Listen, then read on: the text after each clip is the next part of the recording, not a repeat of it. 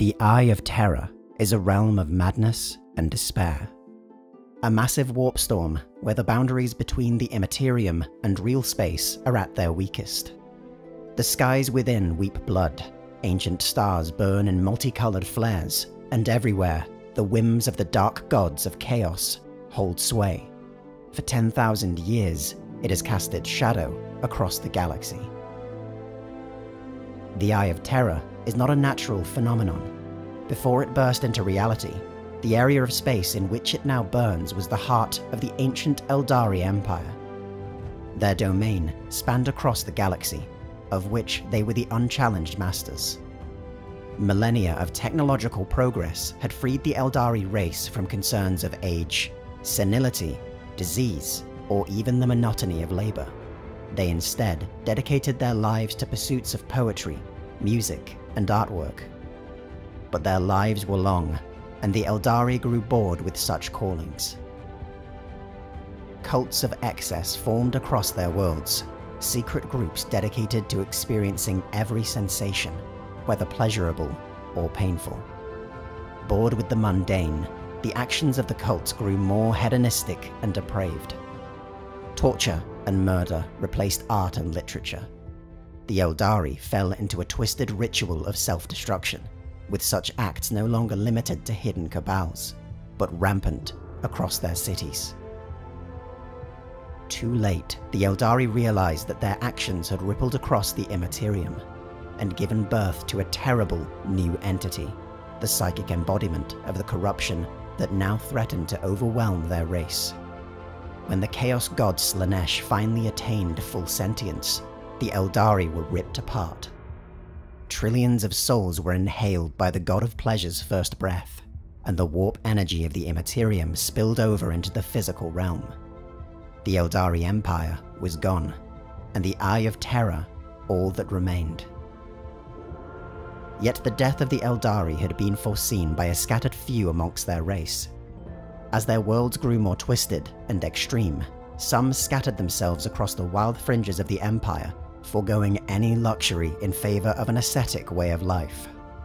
Others found a refuge in the labyrinthine network known as the Webway, and fully embraced the corruption that had befallen their race, feeding off the suffering of others to stave off the corruption of their own souls. Desperate to remain one step ahead of Slaanesh, who would never rest until she had consumed every Aeldari soul, each fragment of their race had been forced to make a choice, to decide how they would survive in a new galaxy, without the might and wisdom of the Aeldari Empire to guide them but there were a few who refused to give in to both the despair and corruption that had gripped their fallen race. As their empire fell into depravity, they took to the stars in continent-sized craft worlds. For millennia, these craft world Aeldari have struck back against the forces of chaos and the primitive Xenos usurpers who have defiled the ruins of their empire, in a vain or desperate attempt to bring about the return of their golden era they have named themselves the Children of the Phoenix King, the Asuryani. In the 42nd millennium, the Asuryani are nearly an entirely voidborn race. Many craft worlds drift across the stars, but they are fragments of a once greater whole, broken and scattered across the galaxy. In geography, culture, and technology, their disparate elements vary wildly, and even within a single craft world, there can be a great diversity of tradition and attitude. This is due in part to the nature of the craft worlds themselves. During the time of the Aeldari Empire, these gigantic spacecraft habitats were self-sufficient, independent realms. They were deployed on great trading missions that might separate them from their kin for centuries, hundreds of thousands of light years beyond the frontiers of the Empire. This life attracted those with a strong sense of independence and self-reliance. A mindset that likely saved them during the fall of the Aeldari and preserved them ever since. This same mindset, however, has further complicated any grand reunification. Each craft world instead pursues its own agenda, which to foreign observers might seem completely random. whatever purpose guides their actions might have them come to the aid of beleaguered Imperial defenders one day, only to slaughter without mercy the next. Through their near mastery of the webway, a hyperdimensional construct of glowing tunnels across space, craft worlds can appear without warning across the galaxy, only to disappear and re-emerge somewhere else. For 10,000 years, the webway has allowed them to remain hidden and scattered, beyond the reach of those who would destroy them. The craft worlds have expanded greatly beyond their original purpose, becoming sanctuary worlds for the Aeldari race, and growing hundreds of times larger to accommodate this new role. As the craft worlds have grown, so too have the divisions between them. Each now possess their own history, traditions, and goals. There is no singular leader amongst the Asuryani, no central government.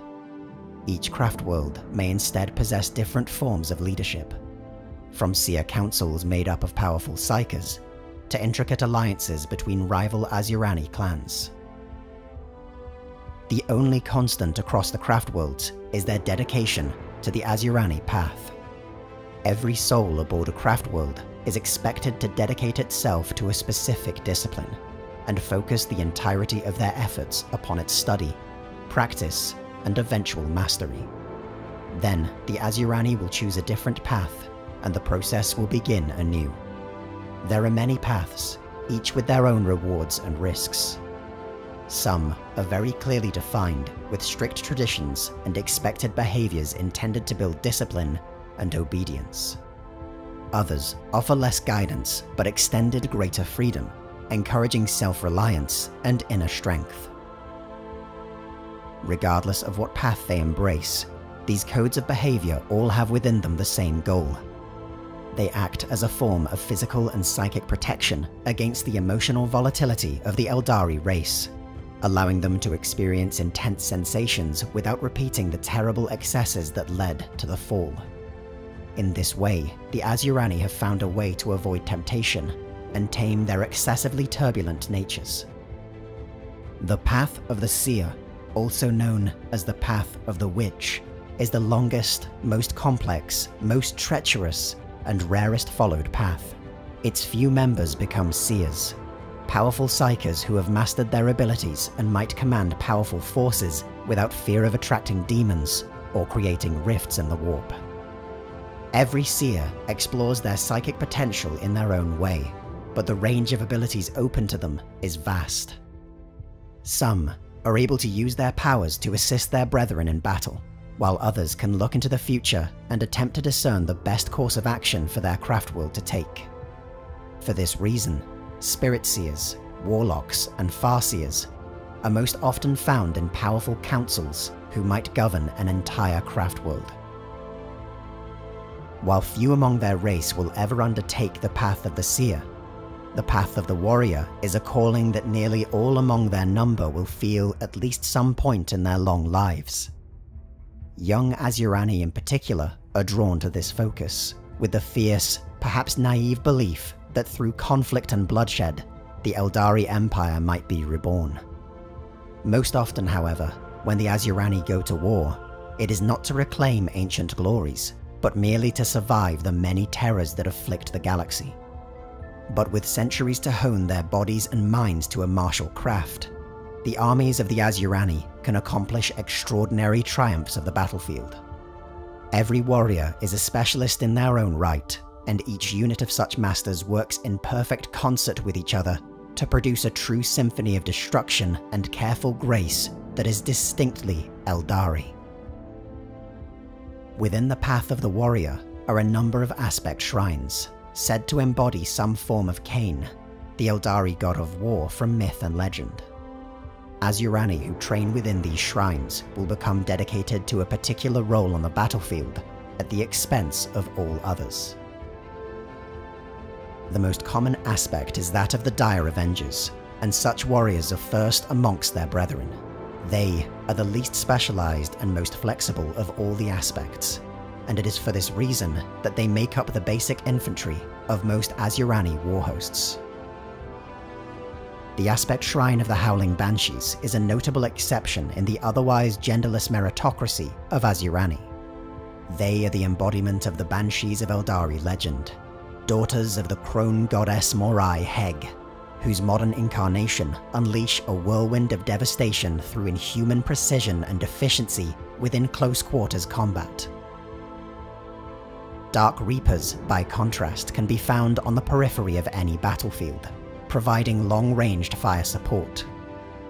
They are widely seen as the most menacing of the warrior aspects, delivering unrelenting destruction behind their grim, skull-masked helms. Fire dragons revel in destruction like no other aspect shrine.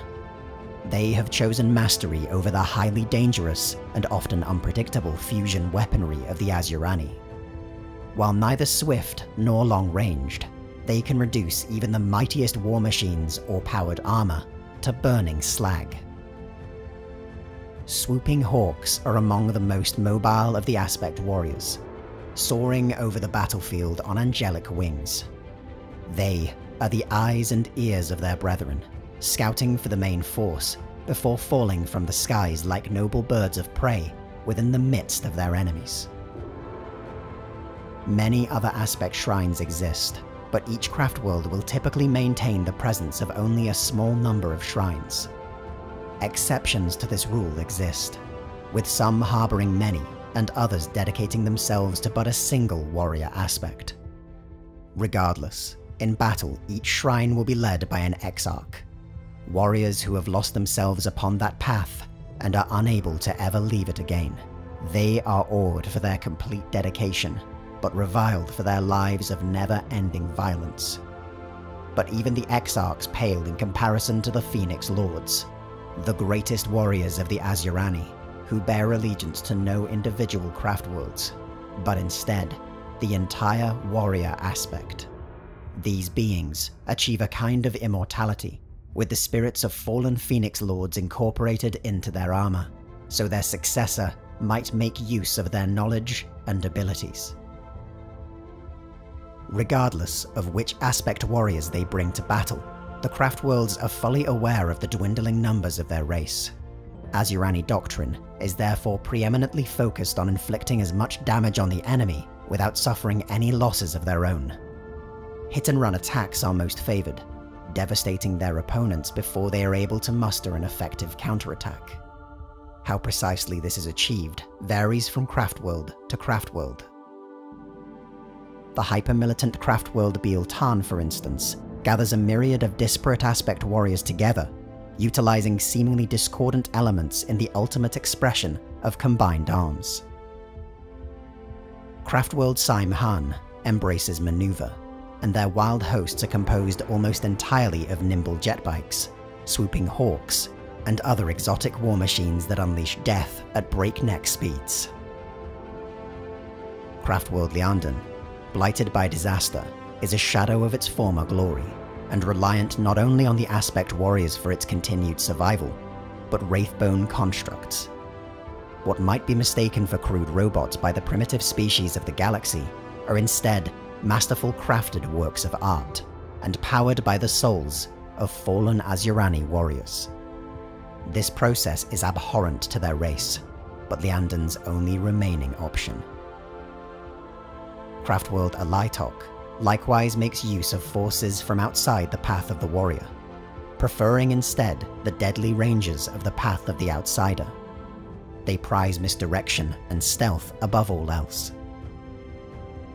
Craftworld Ulthwé is perhaps the most far-sighted of the Asuryani, blessed or perhaps cursed with many of the most powerful psykers in the galaxy. Here, the path of the seer is equally devoted to the art of war as the path of the warrior, and the Asuryani from both are more often seen working together on the battlefield. The doctrine, aspect shrines, and the paths favored by Asuryani varies from craftworld to craftworld, but in the heart of each sits an avatar. It is an incarnation of the bloody-handed god of war, Kaela Mensha Khaine.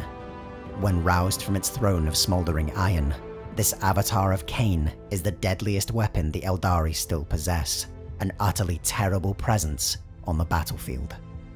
To rouse such a being to action requires a terrible sacrifice and takes an abhorrent toll. it is only done in the most dire of circumstances.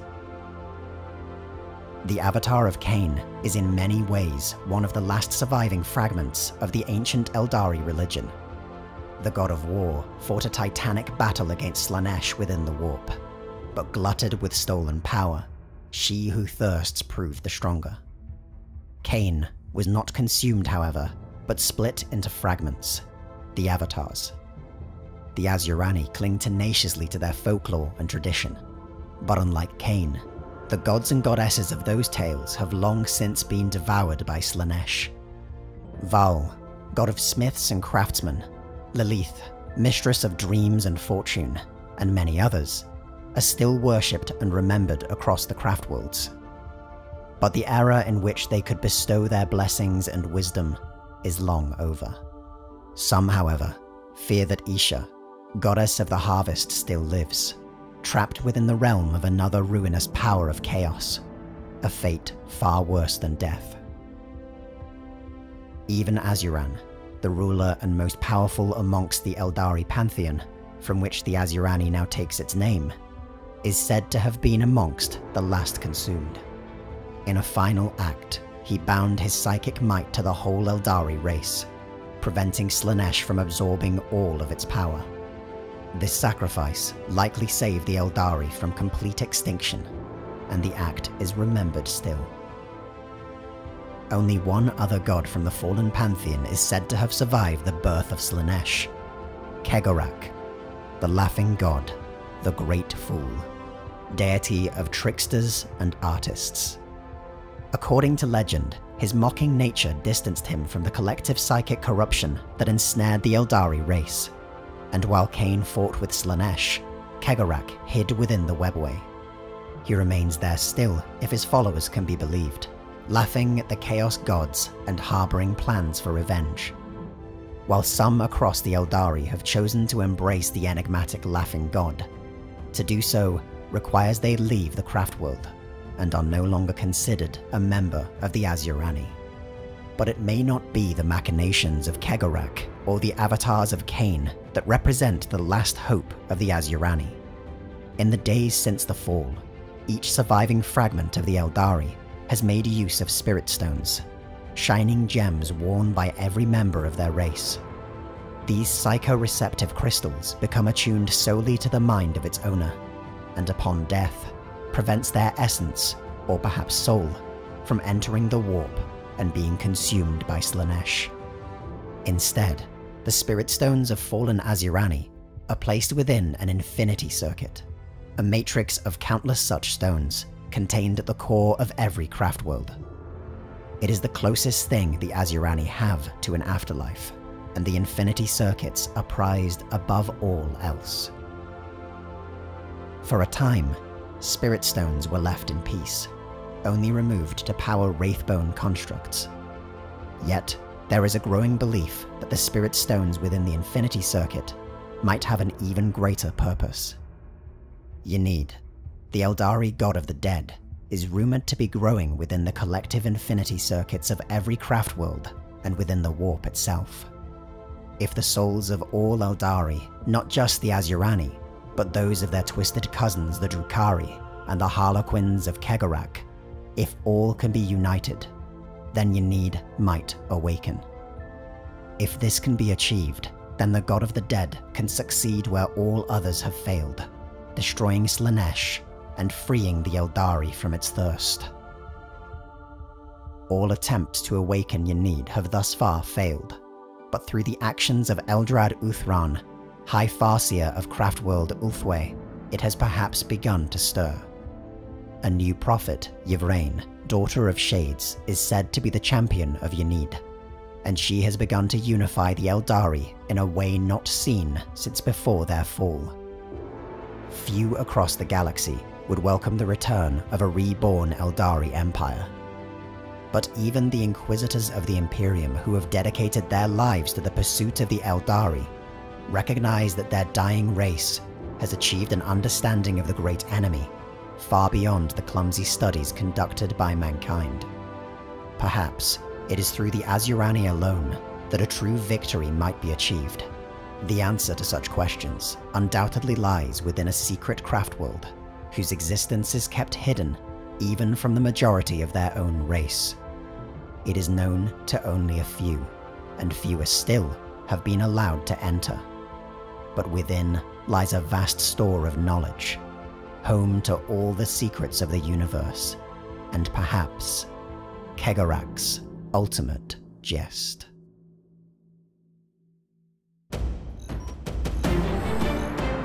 The Templin Institute investigates the nations, factions, and organizations of alternate worlds. If you've enjoyed this video and would like to join the Templin Institute, consider pledging to our Patreon page. Along with increased security access, you'll be able to vote in polls to determine future topics, get custom wallpaper every week, and receive some other exclusive rewards.